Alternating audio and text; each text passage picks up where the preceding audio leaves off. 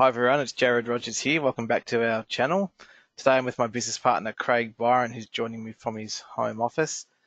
Our topic today is a JobKeeper payment. So this scheme's gone from being an announcement to becoming law in record time and the ATO have just released the practical steps for business owners to apply. So Craig's been following this closely online in training sessions and today I'll be giving us a detailed run through of the rules and more importantly what business owners need to do about it. So firstly, Greg, what is the JobKeeper payment about and what are the basics of how it works? Okay, so basically it's a wage subsidy which is going to be paid to employers who choose to keep staff on the books during this um, coronavirus pandemic. Uh, there is a section in the law for non-employers, but um, we'll get to that later on. The business must have, to qualify, the business must have experienced a decline in turnover. Employers must receive, employees must receive, will receive a minimum of $1,500 per fortnight per employee. The eligible employment period starts on 30th of March 2020. It will be paid in arrears to the employer at the beginning of the following month. So the first payment will be due on the 1st of May. It will be paid for each employee who was paid 15 who was paid $1,500 per fortnight during the month of April. If an employer does not normally pay does not pay a minimum $1,500 per fortnight during April, they will not be eligible for a job JobKeeper payment in relation to that employee in May. Yep, perfect. Um, so if you're paying someone 500 bucks, a thousand bucks, it's not like you get a partial JobKeeper payment. It's nothing at all. So one of the mm-hmm. important things there is people are getting payments in May, but the scheme starts on the 30th of March. So I've got a bit of a diagram here to illustrate that on the screen.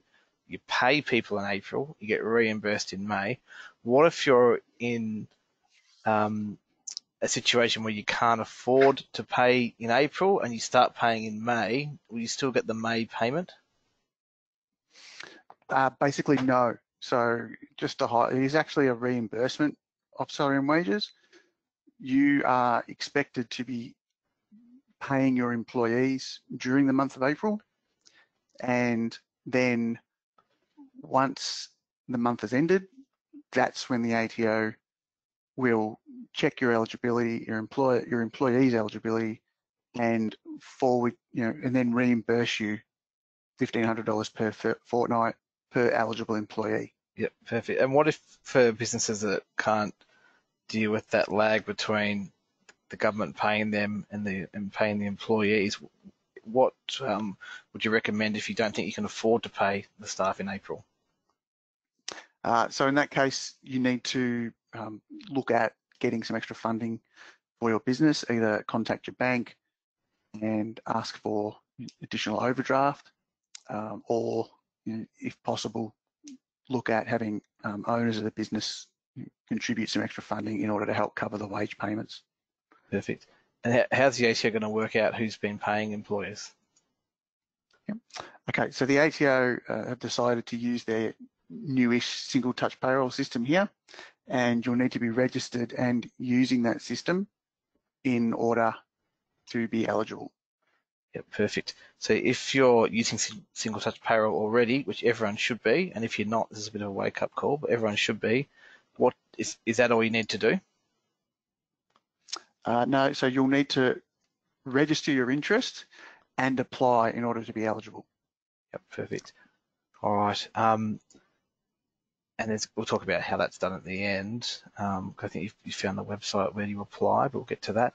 Um, right, so let's go through business eligibility. Who's eligible for this payment?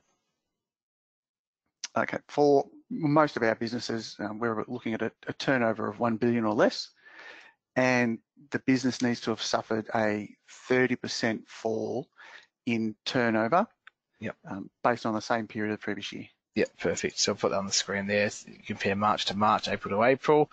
What if you started in July last year, for example, this is your first year of trading, you've got no March 2019 to compare to. Um, what's the process? Can you still claim it? Yes, so you can still claim. There are some other turnover methods that are available. Um, the ATO also has um, discretion to consider additional information that the business may be able to provide to establish that they're adversely affected by coronavirus. Yeah, perfect. So there's no no sort of strict way they're going to check that, but they might, for example, say, let's compare January and February to March and April, and if it's clearly a drop, then that's going to be the proof. What about that's um, employer eligibility? What about employee or worker eligibility? I've got a bit of a table here. If you want to run through some of the main dot points for employees. Yep. Yeah, so there's three categories of uh, employment types for an, an, eligible employee. You either need to be uh, full-time, a part-time, or a long-term long-term casual. So a long-term casual is basically someone who has been a registered employee with the business for at least 12 months. Yep, perfect. Each employee must be at least 16 years of age.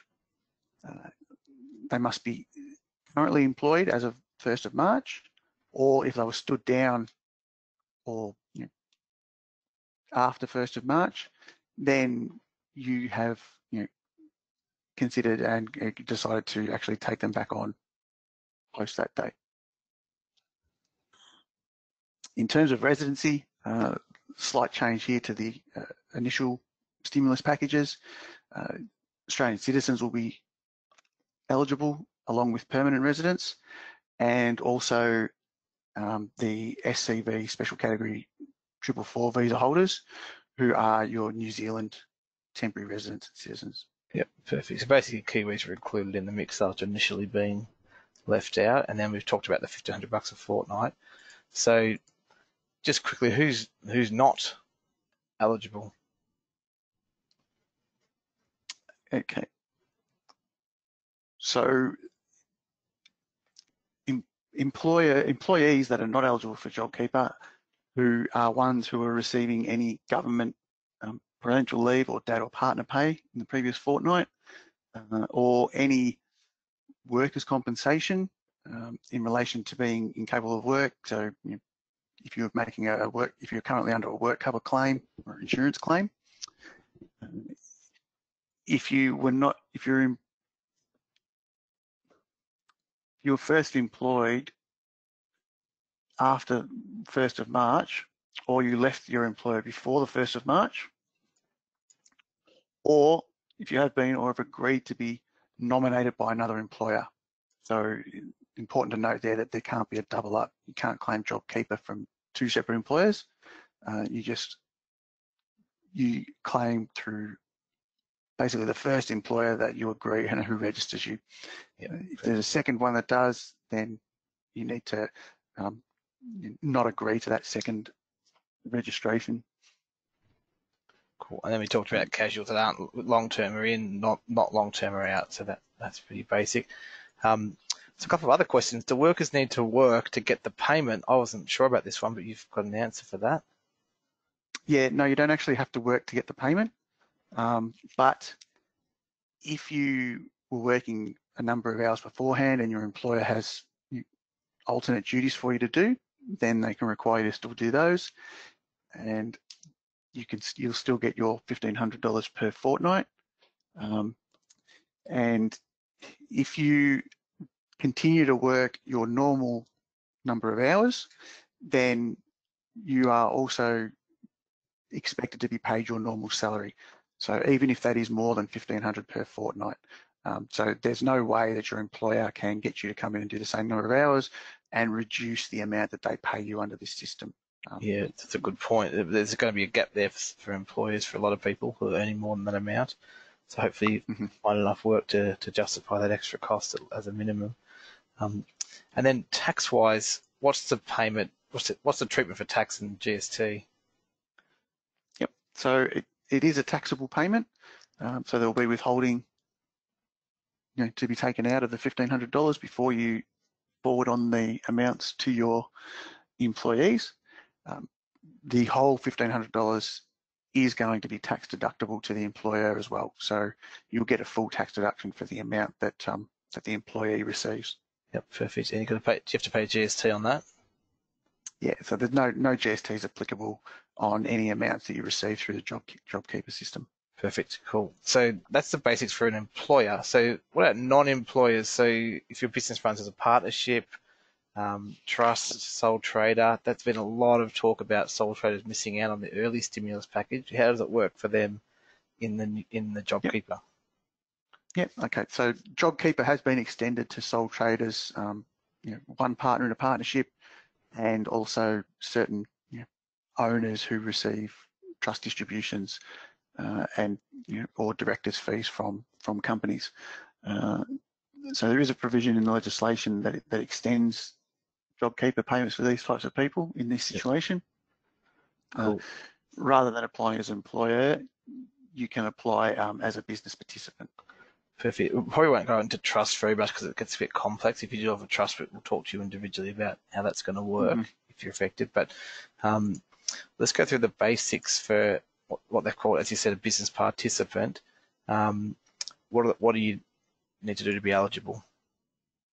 Okay, so first you must notify the ATO of your election to participate in the JobKeeper scheme and the details of the nominated individual only only one, as I said before, only one individual per participating business is eligible. So you know, in a partnership, if you happen to be in a partnership that's got two, three, or four partners, uh, then only one partner will be eligible. Yep.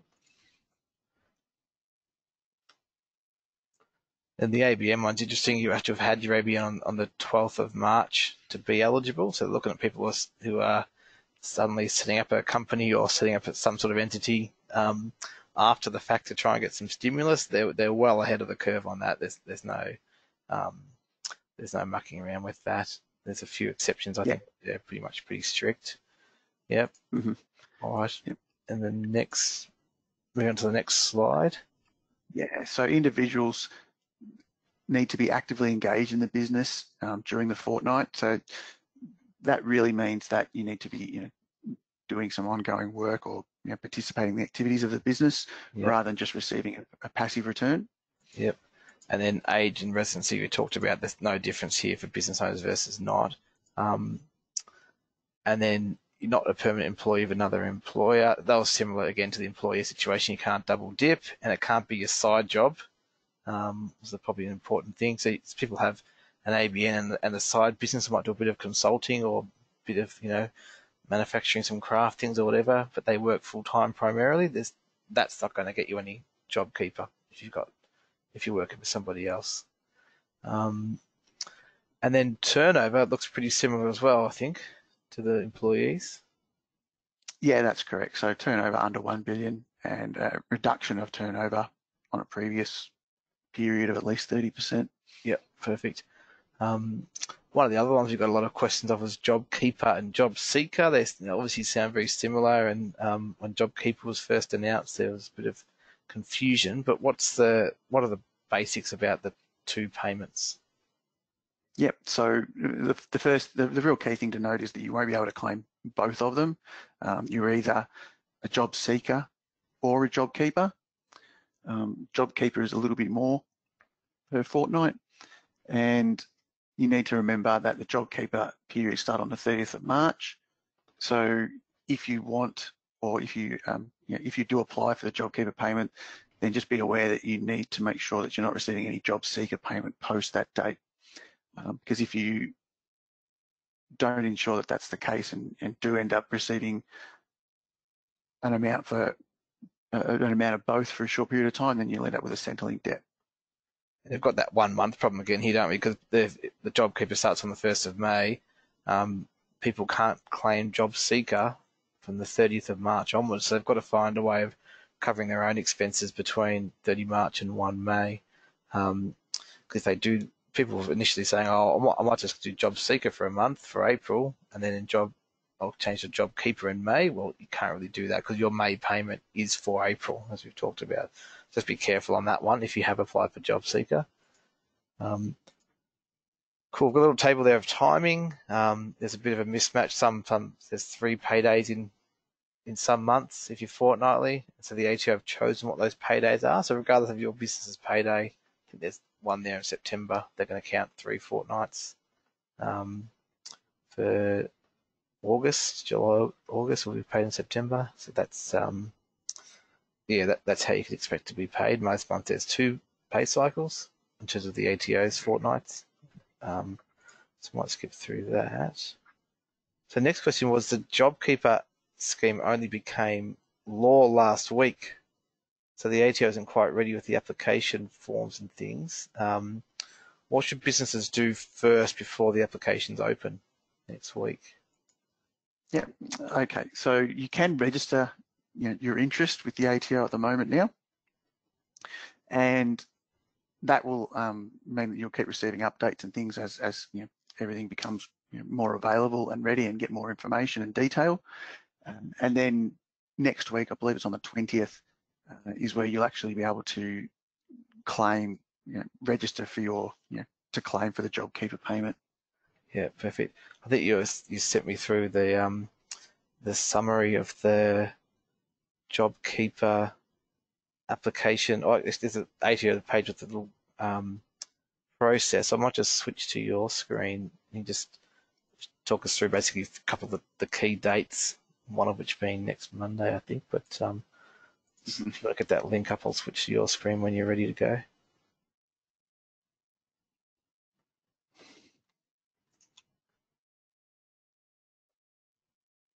Yep. Okay. There's about 16 steps there, which is probably not the most helpful thing of all time. But anyway. Yeah, it's, it's a little bit more involved um, than probably what it needs to be, unfortunately, but it is what it is. Okay, so you can register your interest from now and have been able to do for a few days. And then as of the 20th of April, um, you'll be able to um, enroll for the JobKeeper payments.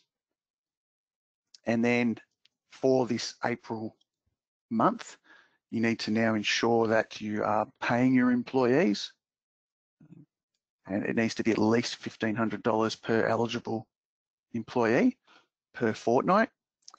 Um, the ATO do understand that because of the system being so new and because of it being, entered into so quickly, that if you're a little bit late during the month of April and don't pay right on the fortnight, that's okay. Um, but you need to have paid your employees the two fortnights and $3,000 in total for the month of April in order for you to be eligible to receive your JobKeeper payment in May, the reimbursement. And put it on single touch payroll, I'd imagine. You don't As well. forget that step. Yep. Yeah. Yep.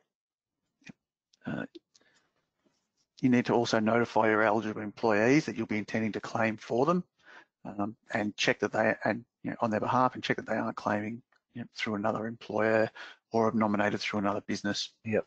And then step five is going to be a pain because you've got to send stuff to the workers, it looks like.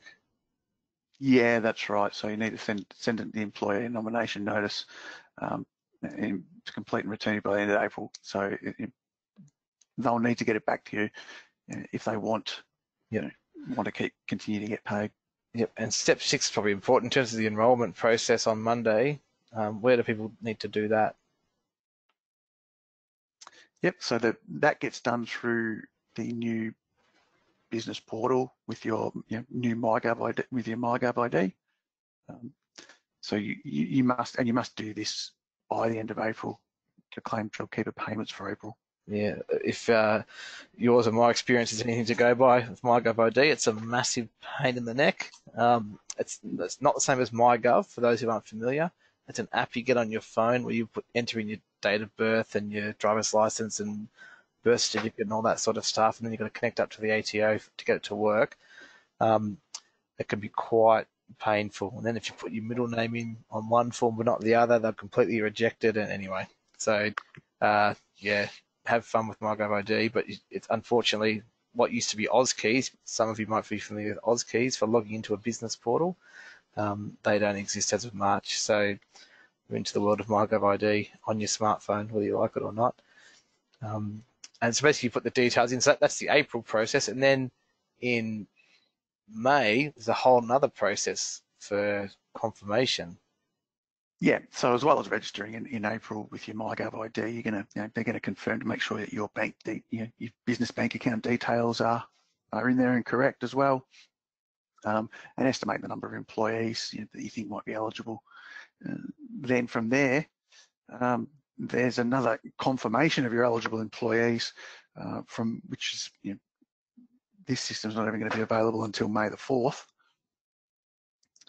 Um, but you will need to go in again and apply to claim your JobKeeper payment through the business portal. Um, you need to ensure that you've paid each eligible employee a minimum of 1500 per fortnight before tax, or again, as we said before, make sure that they've received at least $3,000 in the month of April. Uh, then you need to you know, identify your eligible employees in the application form by selecting each employee's details that are pre-filled in your you know, single touch pay reports. If you report payroll information through a single touch enable payroll solution, um, or if not, you need to manually enter them, uh, enter the details in the online services or the business portal if you don't use single touch payroll uh, enable solution. So pretty much got two steps. One is setting it up and estimating who you're going to pay, and then May that's in April. Then in May we're going to confirm who's actually paid. Then in step seven there, um, you have to provide some information about your turnover to make sure that you're they, they want to see that there's still that 30% drop, I guess. So um, so if you for some reason your business recovers, uh, you might need to see whether you're still eligible to claim it. So that's that's going to be quite complicated. But I imagine that um, sudden business recoveries, well, if that does happen to your business, then good luck to you. But um, I can't see it being too common of a situation at the minute. Yeah, it's probably going to be unlikely in a lot of industries and for a fair while. So yeah, um, yep. uh, and then, and worry too much about that. Yeah, they've, they've targeted six months worth. Basically, it's a bunch of forms to fill out.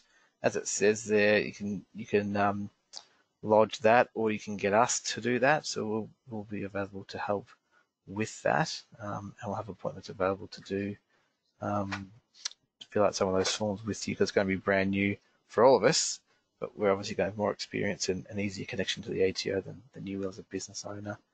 Um, so it's quite complex, 16 steps, eight in April, eight in May. Um, but it is well worth it because 1500 per employee is a lot. And if the idea is going to be the difference, or the government's hoping it's the difference between people staying on the books and staying employed versus people being completely out of work and being on the government payroll regardless. So hopefully it's successful in that because obviously losing a job is pretty uh, hard to deal with. Um, yep, that's correct. And the real issue, I guess, for everyone at the moment is going to be to find the cash flow. Um, yeah. to continue paying everyone. Um, yeah. So um, work on those steps. Make sure that you get your cash flow in, you know, in and sorted out. And make sure that you can you can pay everyone.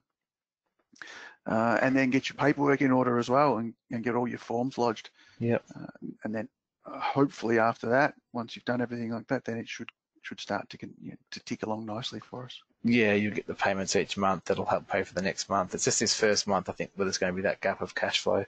You might need to take on some debt or find some other some other cash. Um, the other thing we've been saying separately to this to everybody is pay your super. There's extensions and grace periods and and waivers for just about everything, um, but not for super. So super's due on the 28th of April for any payments between January 1st and March 31. So don't forget to pay that if you're an employer. And uh, any other comments or other things or issues that you want to mention before we close off, Craig?